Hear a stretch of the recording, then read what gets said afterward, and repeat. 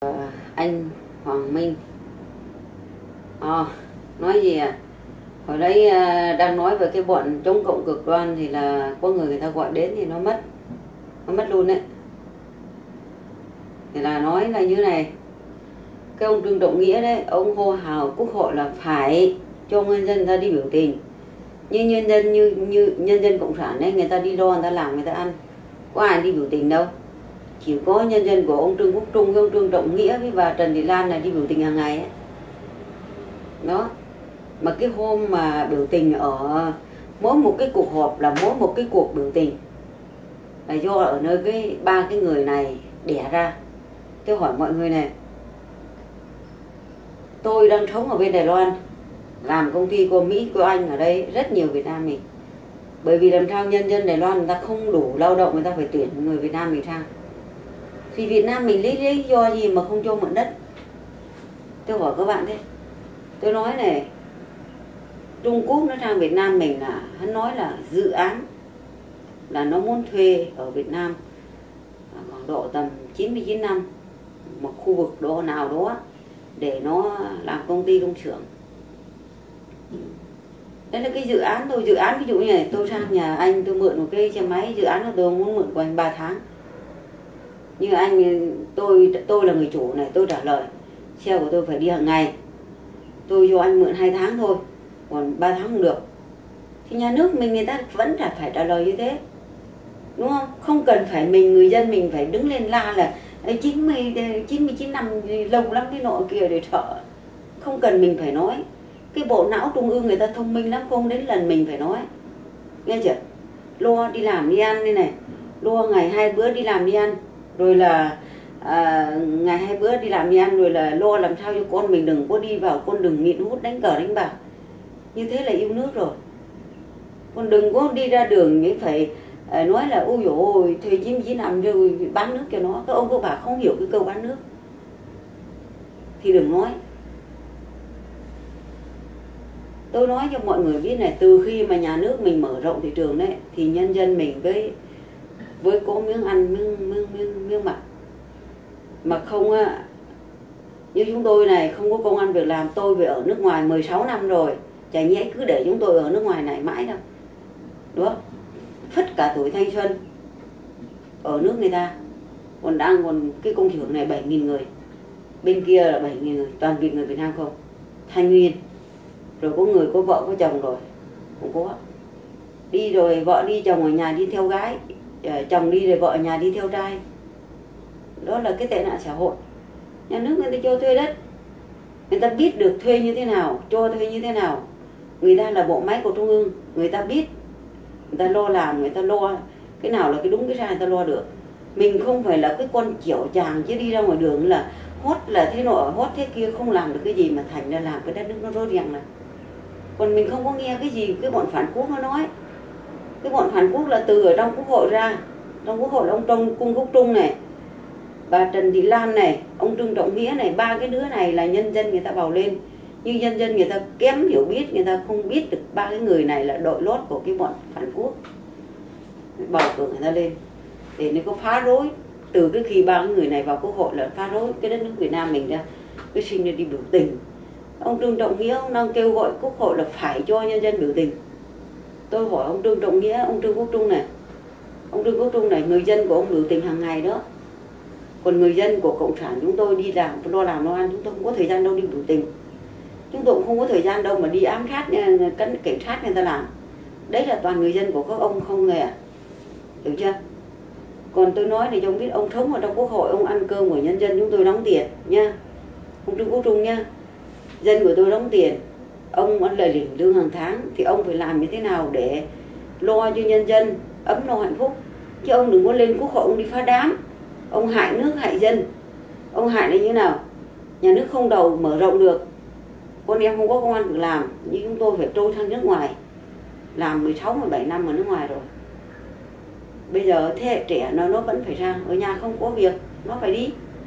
Thì tôi hỏi ông này ruộng. Bây giờ nhà nước, nhân dân người ta không làm ruộng nữa, người ta đi làm công nhân rồi.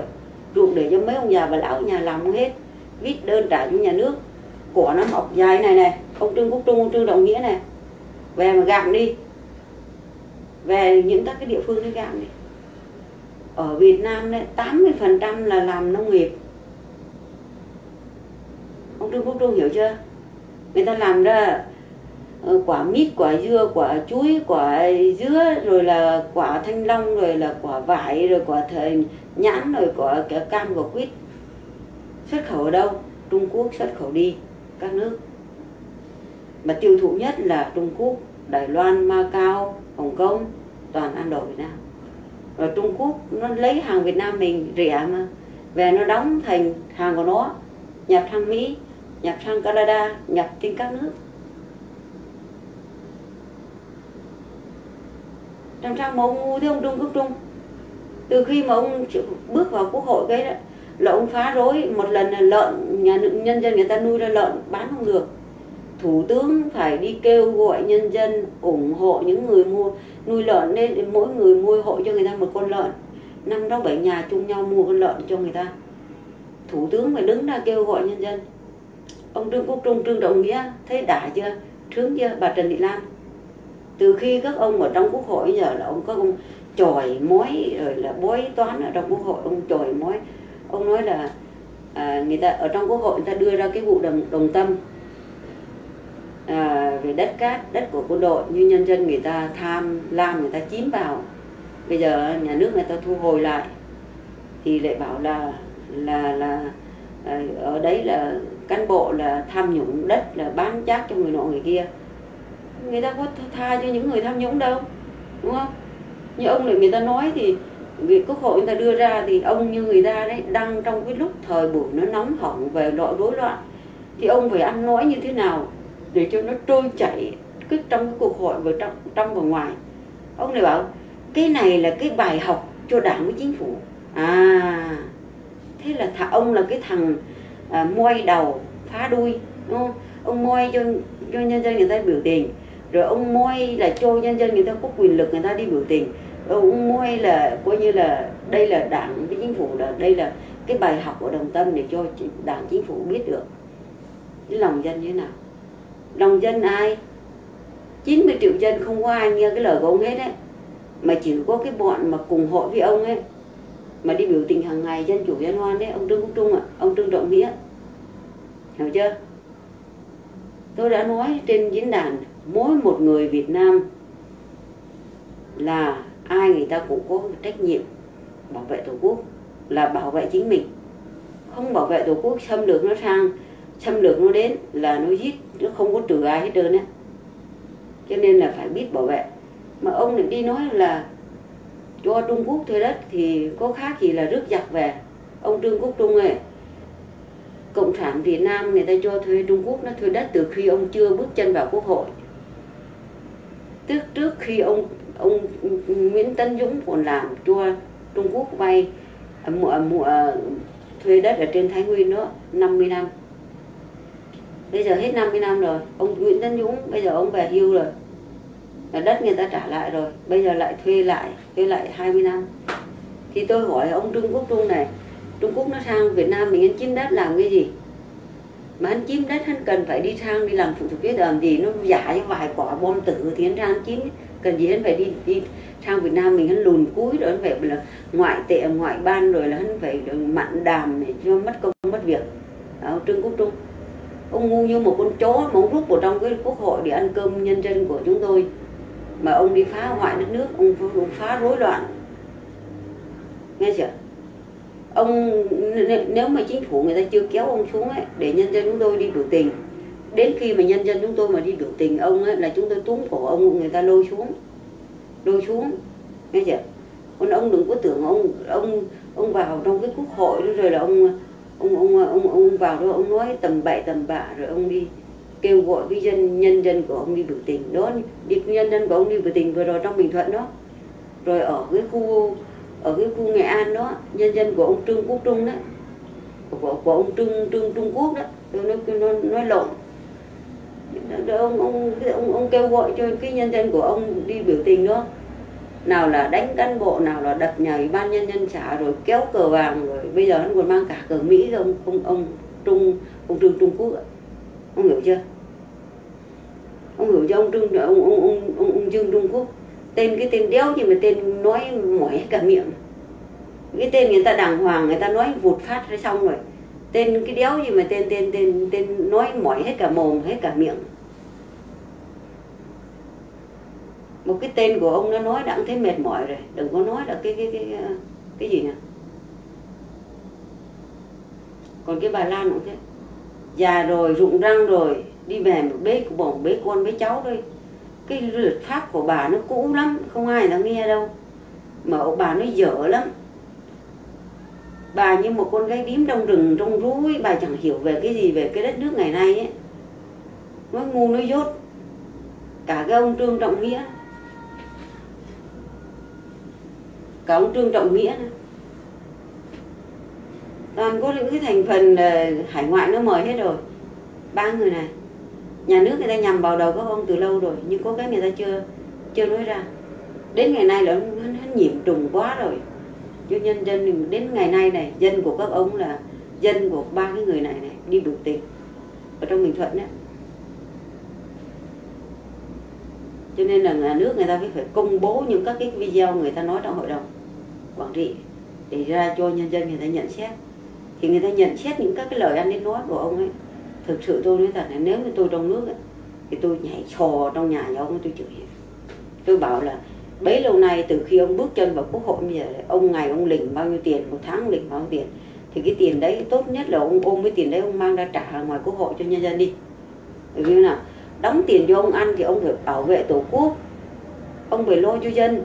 Chứ báo đóng tiền cho ông ăn mà ông lại đi lo cho cái bọn hải ngoại với lại lo cho cái bọn trong nước đi biểu tình để chống phá lại chúng nhân dân, đi lại ngược lại với với đảng, với nhân dân thì tốt nhất ông trả, các ông trả lại hết cái số tiền mà các ông lĩnh hàng ngày đi cho nhân dân đi.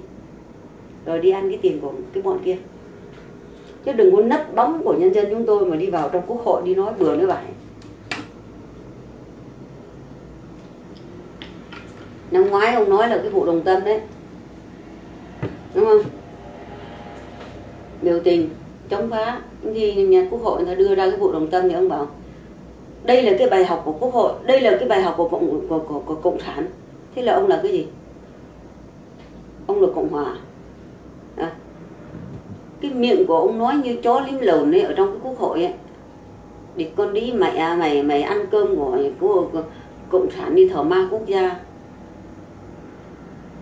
Tao là tao không muốn chửi vào cái mặt của mày tao muốn nói văn hóa với mày nhưng mà tao tao càng nói tao lại càng bực nên tao phải chửi tấm chửi tát vào cái mặt mày cho mày biết. Tao mong mày nghe những cái video của tao này. Mà không có là con một chứ mà ngu ấy, thì đừng có ở trong quốc hội để người ta đầu tra cúng mẹ mày nha. Thằng dương trung quốc. Thằng à, trương trọng nghĩa. À, trương trương dương trọng nghĩa. Với lại con trần thị lan già rồi, tụi cha, tụi bố người ta rồi. Đừng để cho cộng đồng mạng lúc này ta chửi cái thằng, cái con mặt lồn, mặt đít, mặt chó má, mặt khỉ, mặt mèo, mặt cái gì trên cộng đồng nó chửi cho. Nhục lắm. Con cháu nó nghe được, nó bảo, ôi dồi hôm qua cháu nghe người ta, ông ngoại rồi hôm qua cháu nghe người ta chửi ông trên mạng, thằng mặt lồn. Địt mẹ, thằng mẹ, thằng thằng thằng dương trung quốc nó chửi ông ở trên mạng nhiều lắm. Nó giúp chứ hắn chửi, cái dân chửi ông là ăn cơm của dân mà đi đi đi phá rối ở trong quốc hội để cho nhân dân, cho đất nước ta tàng hoàng rồi bất nháo rồi. Năm ngoái ông ông làm một vụ đồng tâm rồi. Trung Quốc nó không sang Việt Nam mua lợn, để cho dân ăn lợn, ăn thịt lợn mà ăn ngán cả đang hoàng tay ấy. thấy chưa? Cái năm nay lại đến mùa hoa quả. Ông chống lại người ta không cho người ta à, sang Việt Nam mình thuê đất. Chống lại, đi lại, ngược lại với nhân dân, đi ngược lại với chính phủ tức là đến hoa quả nhân dân làm ra không bán được đổ đường. Nhà tôi đây nhà, nhà chú tôi làm một gần hai mẫu vải thiều. Có bán được đâu. Bán được mấy chục cân còn chẳng bán được cái nào. Coi như để ngoài cây dân rụng. Có người thì người ta bực ra người ta ra người ta chặt đi.